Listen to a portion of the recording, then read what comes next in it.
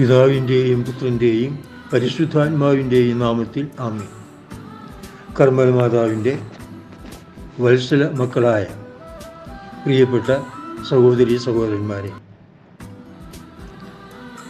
ഇന്നത്തെ സുവിശേഷ ഭാഗം. കർത്താവ് ചുങ്കസ്ഥലത്തിരിക്കുന്ന ലേവിയെ വിളിക്കുന്നതാണ്. ലൂക്കയുടെ സുവിശേഷം അഞ്ചാമത്തെ അധ്യായം. ഇരുപത്തിയേഴ് മുതൽ മുപ്പത്തിരണ്ട് വരെയുള്ള വാക്യങ്ങൾ. ലൂക്ക അഞ്ച് ഇരുപത്തിയേഴ് മുതൽ മുപ്പത്തിരണ്ട് വരെ. ലേവി വിളിക്കുന്നു എന്നാണ് ഇതിന് കൊടുത്തിരിക്കുന്ന എൻഡിങ് എന്നാലും മത്താരുടെ സുവിശേഷത്തിൽ ഈ ഭാഗം വായിക്കുമ്പോൾ പ്രത്യേകമായി അവിടെ പറയുന്ന ഒരു കാര്യം.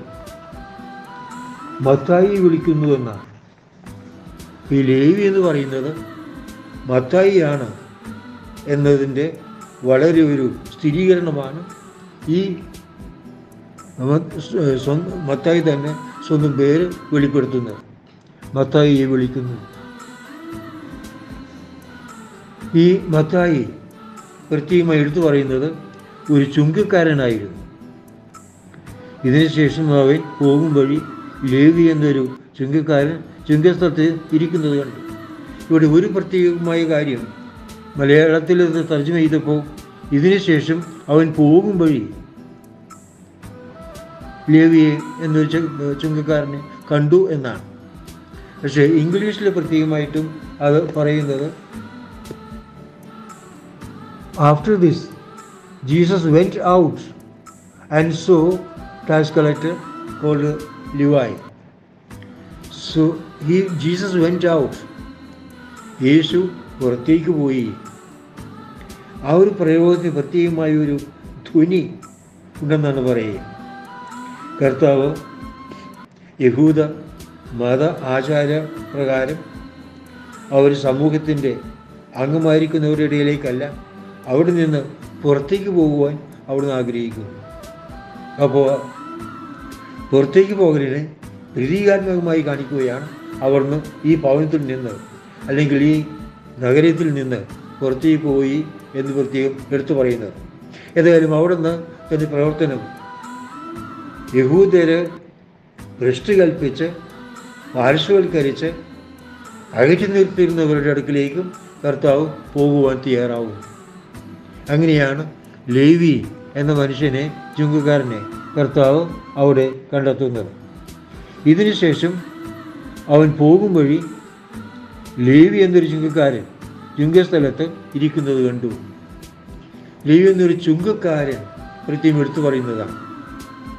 ഈ ചുങ്കക്കാരെക്കുറിച്ച് എഴുതിട്ടുണ്ടായിരുന്ന അന്നത്തെ മനോഭാവം അല്പമെങ്കിലും നമ്മളൊന്ന് മനസ്സിലാക്കിയിരിക്കേണ്ടതാണ്. ഈ ചുങ്കക്കാർ റോമൻ ചക്രവർത്തിക്ക് വേണ്ടി റോമൻ ഭരണകൂടത്തിന് വേണ്ടി യഹൂദരുടെ ഇടയിൽ നിന്ന് ചുങ്കം പിരിക്കുന്നവരായിരുന്നു. യഹൂദയെ സംബന്ധിച്ചിടത്തോളം റോമൻ സാമ്രാജ്യത്തിന് റോമ ചക്രവർത്തിക്ക് റോമൻ ഗവൺമെന്റിന് ജോലി ചെയ്യുന്നത് യഹൂദർക്ക് നിഷിദ്ധമാണ്. കാരണം റോമക്കാർ വിജാതീയരാണ്.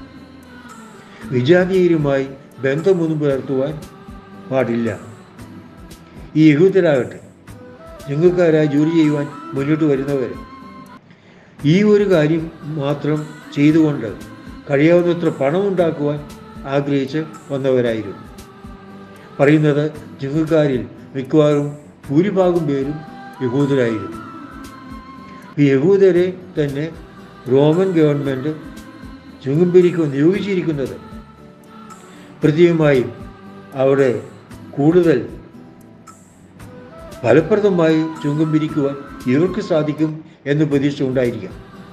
ഏതായാലും യഹൂദരാണ് കൂടുതലായി ചുങ്കക്കാരായിരുന്നത് ഈ ചുങ്കക്കാരെ യഹൂദർ അങ്ങേയറ്റം വെറുക്കുകയും ചെയ്തിരുന്നു. ഒരുവിധത്തിലും സമൂഹ ജീവിതത്തിലോ അവരുടെ കൂട്ടായ്മയിലോ ആരാധനയിലോ ഒന്നും ഇവർക്ക് പങ്കില്ലായിരുന്നു എന്ന് തന്നെ പറയും. ഇവരെ അങ്ങേറ്റം വെറുത്തിരുന്നു. അങ്ങേറ്റം വെറുപ്പോടും പുച്ഛത്തോടും കൂടിയാണ് ഇവരെക്കുറിച്ച് സംസാരിച്ചിരുന്നത്. ചിലർ പറയുന്നത് വഴി നടന്നു പോകുമ്പോൾ ഒരു ചുങ്കക്കാരൻ എതിരെ വരുന്നത് കണ്ടാൽ ഇവർ മറുവശത്തേക്ക് മുഖം തിരിച്ച് കാർക്കിച്ച് തുപ്പുമായിരുന്നു. അത്രയ്ക്ക് അവജ്ഞയും പുച്ഛയുമായിരുന്നു പുച്ഛവുമായിരുന്നു ഈ ചുങ്കക്കാരോട്. ആ ഒരു സ്ഥാനം എന്തുകൊണ്ട് ഈ ചുങ്കക്കാർ യഹൂദരായ ചുങ്കക്കാർ ഏറ്റെടുത്തു എന്ന് ചോദിച്ചാൽ പ്രധാനമായും അവരുടെ പണക്കുതിയാണ് ഇഷ്ടംപോലെ പണമുണ്ടാക്കാം. അവർ പറയുന്നത് റോമൻ ഗവൺമെന്റിന് ഒരു നിശ്ചിത സംഖ്യ പിരിച്ചു കൊടുക്കണം എന്നേ ഉള്ളൂ ജനങ്ങളിൽ നിന്ന് ഇവർക്ക് എത്ര വേണമെങ്കിലും പിരിക്കാം. അതിന് പ്രത്യേകമായ നിയമമോ നിയന്ത്രണമോ ഒന്നും ഗവൺമെന്റ് ഏർപ്പെടുത്തുന്നില്ല. ഈ ചുങ്കക്കാർക്ക് അവരുടെ മനോധർമ്മം അനുസരിച്ച് ചുങ്കത്തിന്റെ തുക നിശ്ചയിക്കുകയും അത് പിരിച്ചെടുക്കുകയും ചെയ്യാം. ഗവൺമെന്റിന് കൊടുക്കാണ്ട് കൊടുത്തു കഴിഞ്ഞാൽ ബാക്കി മുഴുവൻ ഇവർക്ക് സ്വന്തമാക്കാം. അങ്ങനെ സ്വന്തം ജനങ്ങൾ പിഴിഞ്ഞ് വളരെയധികം പണമുണ്ടാക്കിയിരുന്നു. ഇവർക്ക് വേറൊരു മാർഗവും കൂടിയുണ്ട്. പണക്കാരായവരെ ഈ ചുങ്കത്തിൽ നിന്നും ഒഴിവാക്കിക്കൊണ്ട് അവരിൽ നിന്ന് കൂടുതൽ കൈക്കൂലി വാങ്ങുമായിരുന്നു. അപ്പോൾ കൈക്കൂലിയായിട്ടും അധിക ചുങ്കമായിട്ടും പണം ധാരാളം സ്വരുക്കൂട്ടിയിരുന്ന ഒരു വിഭാഗമായിരുന്നു ഈ ചുങ്കക്കാർ. അതുകൊണ്ടാണ് ചുങ്കക്കാർ വലിയ ധനവാന്മാരായിരുന്നു. ഈ പറഞ്ഞ ലേവി തന്നെ ഓർത്തു നോക്കിയ കർത്താവ് വിളിച്ചു കഴിഞ്ഞപ്പോൾ കർത്താവിന്റെ പിന്നാലെ പോകുവാനുള്ള തീരുമാനമെടുത്തു കഴിഞ്ഞപ്പോൾ അറിവുള്ളവരും പരിചയമുള്ളവരുമായ എല്ലാ ചുങ്കക്കാരെയും ഭാവികളെയും ഒക്കെ വിളിച്ചു കൂട്ടുകയാണ് വലിയൊരു വിരുന്ന് നടത്തുവാൻ ഈ വലിയ വിരുന്ന് നടത്തുവാൻ തക്ക വിധം വിശാലമായ ഹോളം ഇദ്ദേഹത്തിന്റെ ഭവനത്തിലുണ്ടായിരുന്നു. അത്രയ്ക്ക് വലിയൊരു വീടാണ് ഈ ലേവി മത്തായി തനിക്ക് വേണ്ടി പണിതു വച്ചിരുന്നത്. അതെല്ലാം അദ്ദേഹത്തിന്റെ പണത്തിന്റെയും പ്രതാപത്തിന്റെയും ഒരു വലിയ പ്രകടനമായിരുന്നു. അങ്ങനെ വലിയ വിശാലമായ ഹോൾ അതിന് തക്ക വിശാലമായ ഒരു വീട് അവിടെ വളരെ പണച്ചെലവുള്ളൊരു വിഭവസമൃദ്ധം ഒരു വിരുന്ന് അതിൽ സംബന്ധിക്കുന്നവരുടെ എണ്ണം വളരെ വലുത്. ഇതൊക്കെ നമുക്ക് ഈ മത്തായിക്കുണ്ടായിരുന്ന പണം എന്ന് മാത്രമായിരുന്നു സ്വത്ത് സമ്പത്ത് എന്ന് മാത്രമായിരുന്നു എന്ന് ഊഹിക്കാവുന്ന ഒന്നാണ്. ഈ പണമെല്ലാം സഖ്യൂസ് ചെയ്യുന്നത് ചുങ്കസ്ഥലത്ത് ഇരിക്കുന്നത് കണ്ടു എന്നെ അനുഗമിക്കുകയെന്ന് യേശു അവനോട് പറഞ്ഞു. ഒരു വാക്യം പറയുന്നില്ല എന്നെ അനുഗമിക്കുക. യേശുവിന്റെ വാക്കിന്റെ ശക്തി ചേർത്ത് നിൽക്കുവാൻ ഈ ചുങ്കക്കാരന് കഴിയുന്നില്ല. അത്രയ്ക്ക് സൂക്ഷ്മതയോടുകൂടെ അത്രയ്ക്ക് വളരെ ഹൃദ്യമായ രീതിയിൽ ഹൃദയത്തിൽ ആഴമായി പതിയുന്ന വിധത്തിൽ കർത്താവ് ആ ചുങ്കക്കാരനെ നോക്കി. അവന്റെ ഹൃദയത്തിന്റെ ആഴങ്ങളിലേക്ക് കണ്ണുകൾ അയച്ചുകൊണ്ടാണ് പറയുന്നത് എന്നെ അനുഗമിക്കുക. വർഷത്തിൽ അവിടെ ആ ചുങ്കക്കാരനെ ഇരിക്കുന്ന ആ മനുഷ്യന്റെ ഹൃദയത്തിന്റെ അവസ്ഥയാണ് കർത്താവ് കാണുന്നത്. വളരെയധികം പണമുണ്ട് സമ്പത്തുണ്ട്. റോമ അധികാരികളുടെ മുമ്പിൽ നല്ല സ്വാധീനമുണ്ട്. അങ്ങനെ വളരെയേറെ ആഗ്രഹിക്കാവുന്ന അസൂയാർഹമായ പദവികളാണ് ഈ മനുഷ്യനുണ്ടായിരുന്നത് പക്ഷെ ഇതൊക്കെയുണ്ടെങ്കിലും ഹൃദയത്തിൽ അസമാധാനമാണ് അസന്തുഷ്ടിയാണ് എന്ന് യേശുവിന് മനസ്സിലാക്കുന്നു കാരണം ഈ സമ്പത്തും പണവും പ്രതാപവും സ്വാധീനവും അധികാരവും ഇതൊക്കെ ഉണ്ടെങ്കിലും മനസ്സിൽ സന്തുഷ്ടി ഇല്ലാത്തൊരു മനുഷ്യനായിരുന്നു ചുങ്കക്കാരൻ. വിശുദ്ധ അഗസ്റ്റിൻ പറയുന്നത് പോലെ നമ്മുടെ ഹൃദയം ദൈവത്തിന് വേണ്ടി സൃഷ്ടിക്കപ്പെട്ടിരിക്കുന്നതാണ്. ദൈവത്തിൽ വിജയം പ്രാപിക്കുന്നത് വരെ ആ മനസ്സ് അസ്വസ്ഥമായിരിക്കും ഹൃദയം അസ്വസ്ഥമായിരിക്കും. എന്തെല്ലാം ഭൗതിക വസ്തുക്കൾ കൊണ്ട് നിറയ്ക്കുവാൻ നമ്മൾ പരിശ്രമിക്കും തോറും വാസ്തു നമ്മുടെ ഹൃദയത്തിൽ ശൂന്യത വളർന്നുകൊണ്ടേയിരിക്കും. കാരണം ദൈവത്തിന് മാത്രമേ ആ ശൂന്യത നികത്തുവാൻ കഴിയുകയുള്ളൂ. ഈ ഒരു ശൂന്യതയാണ് ഇവിടെ മത്യവൂസ് അനുഭവിച്ചുകൊണ്ടിരുന്നത്. ആ ശൂന്യത അതിന്റെ വലിയ വലിയ ആന്തരിക ഒരു മുറിവ് ആയിരുന്നു വാസ്തവത്തിൽ ഈ ലേവിക്കുണ്ടായിരുന്നത്.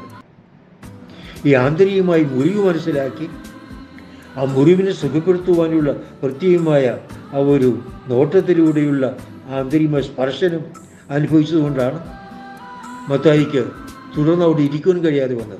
തുടർന്ന് പറയുന്നത് എന്നെ നിയമിക്കുകയെന്ന് യേശു അവനോട് പറഞ്ഞു അവൻ എല്ലാം ഉപേക്ഷിച്ച് എഴുന്നേറ്റ് അവനെ അനുഗമിച്ചു പിന്നീട് താമസം ഉണ്ടായിരുന്നില്ല. താമസം വിന എഴുന്നേറ്റ് യേശുവിനെ അനുഗമിച്ചു. അതാണ് അന്ന് മത്തായി അവിടെ ചെയ്തത്. അവൻ എല്ലാം ഉപേക്ഷിച്ച് എഴുന്നേറ്റ് അവനെ അനുഗമിച്ചു. എല്ലാം ഉപേക്ഷിച്ചു എന്ന് പറയുമ്പോൾ നമ്മൾ വളരെ എളുപ്പമൊരു വാക്കെല്ലാം തീർന്നു എന്ന് വിചാരിക്കരുത്. സാധാരണ നിലയിൽ സാധാരണ നിലയിൽ ഒരു മനുഷ്യന് വളരെ വളരെ വേദനയുളവാക്കുന്ന ഒന്നാണ്.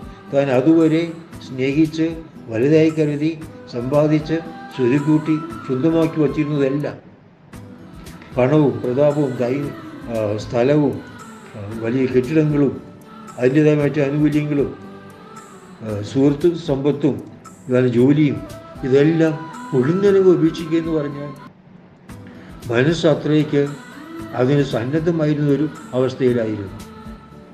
ഇതൊന്നും തന്നെ തന്നെ തനിക്ക് ശാന്തി നൽകുകയില്ല എന്ന് പൂർണമായ ബോധ്യത്തോടുകൂടെ അശാന്തിയോടുകൂടിയാണ് ആ മനുഷ്യൻ അവിടെ ഇരുന്നിരുന്നത്. ഇതിൽ നിന്നും തന്നെ പൂർണമായി സ്വതന്ത്രനാക്കാൻ മനസ്സിന് ആഗ്രഹിക്കുന്ന ശാന്തി നൽകുവാൻ കഴിവുള്ള ഒരുവൻ ആണ് യേശു എന്ന് ബോധ്യമായതോടെ മറ്റൊക്കെ ഉപേക്ഷിക്കുന്നതിന് സഖ്യോസിന് പ്രയാസമുണ്ട്. ഈ മധ്യൂസിന് പ്രയാസമുണ്ടായിരുന്നില്ല. അതുകൊണ്ട് ഉടനെ എഴുന്നേറ്റ്. എല്ലാം ഉപേക്ഷിച്ച് അവിടുത്തെ അനുഗമിച്ചു അവൻ എല്ലാം ഉപേക്ഷിച്ച് എഴുന്നേറ്റ് അവനെ അനുഗമിച്ചു. ലേവി തന്റെ വീട്ടിൽ അവന് വേണ്ടി ഒരു വലിയ വിരുന്ന് ഒരുക്കി. അപ്പോൾ തനിക്ക് കിട്ടിയ ആത്മീയ അനുഭവം മറ്റുള്ളവരുമായിട്ട് പങ്കുവയ്ക്കുവാനുള്ള ഒരു വലിയ ആവേശം ഈ മനുഷ്യനുണ്ടായിരുന്നു. അതുകൊണ്ടാണ് ഉടനെ തന്നെ തന്റെ സുഹൃത്തുക്കളെല്ലാം വിളിച്ചു കൂട്ടി വലിയൊരു വിരുന്ന് തന്റെ ഭവനത്തിൽ തന്നെ നടത്തുവാൻ ഈ മത്തി മത്തായി തയ്യാറാവുന്നത് കാരണം ഓരോരുത്തരുടെയും അടുത്ത് ചെന്ന് തന്റെ അനുഭവം വിവരിച്ച് പങ്കുവയ്ക്കുന്നു വെച്ചാൽ മാസങ്ങളും ഒരുപക്ഷെ വർഷങ്ങളും എടുത്തേക്കും ഒരു പദ്ധതി സഖ്യവ്യൂസ് ആസൂത്രണം ചെയ്യുന്നത് ഇങ്ങനെയാണ്. മധ്യവ്യൂസ് ആസൂത്രണം ചെയ്യുന്നു. എല്ലാവരും വിളിച്ചു കൂട്ടിയാൽ അവർക്ക് തന്നെ തന്റെ അനുഭവം പങ്കുവയ്ക്കുവാൻ അവസരം കിട്ടും. അവർക്കെല്ലാവർക്കും യേശുവിനെ കാണുവാനും യേശുവിനെ അനുഭവിക്കുവാനും അവസരം കിട്ടുകയും ചെയ്യും. അപ്പോൾ തന്റെ ആത്മീയമായ അനുഭവം എല്ലാവരെയും പകരുവാനുള്ള ഏറ്റവും എളുപ്പമാർഗമായിട്ടാണ് ഈ വിരുന്ന് മത്തായി ഒരുക്കുന്നത്. ജൂകാരനായ മറ്റുള്ളവരുടെ ഈ ഒരു വലിയ ഗണം അവനോടൊപ്പം ഭക്ഷണത്തിനിരുന്നു പരിസരും നിയമഞ്ചരും വിറുവിറുപ്പോടെ അവന്റെ ശിഷ്യരോട് പറഞ്ഞു നിങ്ങൾ ചുങ്കക്കാരോടും പാവികളോടും കൂടെ തിന്നുകയും കുടിക്കുകയും ചെയ്യുന്നത് എന്ത്? അവർ കാണുന്ന വന്നിരിക്കുന്ന എല്ലാം പാവികളാണ് വീർക്കപ്പെട്ടവരാണ് സമൂഹത്തിൽ ദൃഷ്ടി കൽപ്പിക്കപ്പെട്ടവരാണ് പാർശ്വവൽക്കരിക്കപ്പെട്ടവരാണ് ഇവരെയൊക്കെ ഇങ്ങനെ വിളിച്ചു കൂട്ടുമ്പോൾ ഇത് ഒരു ധിക്കാരമല്ലേ? നിയമലംഘനമല്ലേ? ഇവരോടൊക്കെ ഇടപഴകുന്നത് വഴി ആ പാപവും ആ തിന്മയുടെ സ്വാധീനവും നിങ്ങളിലേക്കും പകരുകയില്ലേ? ഇതൊക്കെയാണ് ഈ പരിസയരും നിയമജരും ചോദ്യ ചോദ്യങ്ങൾ. യേശു അവരോട് പറഞ്ഞു ആരോഗ്യമുള്ളവർക്കല്ല രോഗികൾക്കാണ് വൈദ്യനെ കൊണ്ട് ആവശ്യം. ഞാൻ വന്നിരിക്കുന്നത് നീതിമാന്മാരെ വിളിക്കുവാനല്ല പാപികളെ പശ്ചാത്താപത്തിലേക്ക് ക്ഷണിക്കുകയാണ്. ഈ ഒരു വാക്യത്തിൽ എന്തുമാത്രം ആശ്വാസം സ്വാന്ത സാന്ത്വനം തന്റെ മിഷനെക്കുറിച്ച് ദൗത്യത്തെക്കുറിച്ചുള്ള ബോധ്യം ഇതൊക്കെ അടങ്ങിയിരിക്കുന്നുവെന്ന് അനുമാനമാണ് ഞാൻ വന്നിരിക്കുന്നത് രോ ആരോഗ്യവാന്മാർ വിളിക്കാനല്ല രോഗികൾക്ക് സഹായം നൽകുവാനാണ്. രോഗികൾ വിളിക്കുവാൻ ഞാൻ വന്നിരിക്കുന്നു. ഭാവികളെയാണ് ഞാൻ വിളിക്കാൻ വന്നിരിക്കുന്നത്. നീതിമാന്മാരെ അല്ല അപ്പോൾ ഈ പന്നീരി വന്നിരിക്കുന്ന ഒക്കെ പാവികളാണ് വന്നിരിക്കുന്ന രോഗികളാണ് എന്ന് നിങ്ങൾ പറയുന്നുവെങ്കിൽ അതിനെ ഞാൻ ധിക്കരിക്കുന്നില്ല. അതിനുവേണ്ടി തന്നെയാണ് ഞാൻ വന്നിരിക്കുന്നത്. അതുകൊണ്ട് തന്നെയാണ് പാവികളായതുകൊണ്ട് തന്നെയാണ് സമൂഹത്താൽ വെറുക്കപ്പെട്ടവരായതുകൊണ്ട് തന്നെയാണ് അതിനെ വിളിച്ചിരിക്കുന്നത്. ഭാവിയിലെ നമുക്ക് എന്തുമാത്രം ആശ്വാസം നൽകുന്ന വാക്കാണ് കർത്താവ് ഇവിടെ നൽകുന്നത്. അവിടുന്ന് വന്നിരിക്കുന്നത് നമുക്ക് വേണ്ടിയാണ്. ഭാവികളായ നമ്മെ വിളിക്കുവാൻ ഭാവികളായ നമുക്ക് ആശ്വാസവും സാന്ത്വനവും നൽകുവാൻ രക്ഷ നൽകുവാൻ ഹൃദയം ആഗ്രഹിക്കുന്ന യഥാർത്ഥമായ സമാധാനം നമുക്ക് നൽകുവാൻ. പരിശുദ്ധ അമ്മേ കർമ്മനമാതാവേ ഞങ്ങൾ അങ്ങേ സ്തുതിക്കുന്നു അങ്ങേക്ക് നന്ദി പറയുന്നു. കർത്താവായ ഈശ്വരം ഞങ്ങൾക്ക് നൽകുന്ന ഈ വലിയ സന്ദേശം സ്വീകരിക്കുവാൻ ഞങ്ങളുടെ ഹൃദയങ്ങളെ അങ്ങ് ഒരുക്കണമേ ഈ ലോകത്ത് ഒന്നിനും ഞങ്ങളുടെ ഹൃദയത്തെ സ്വസ്ഥമാക്കുവാൻ ശാന്തമാക്കുവാൻ സാധിക്കുകയില്ല എന്നൊരു ബോധ്യത്തോടുകൂടി എല്ലാം ഉപേക്ഷിച്ചുകൊണ്ട് കർത്താവിനെ പിഞ്ചെല്ലുവാനുള്ള ആ വലിയ കൃപ ഞങ്ങൾക്ക് നൽകണമേ. ഞങ്ങളുടെ ഹൃദയം അഭിലഷിക്കുന്ന യഥാർത്ഥ സമാധാനവും സന്തോഷവും സൗഭാഗ്യവും സ്വസ്ഥതയും എല്ലാം അവിടെ കണ്ടെത്തുവാൻ ഞങ്ങൾക്ക് ഇടവരെയും ചെയ്യുമാറാകട്ടെ. പിതാവിന്റെയും പുത്രന്റെയും പരിശുദ്ധാത്മാവിന്റെയും നാമത്തിൽ ആമേ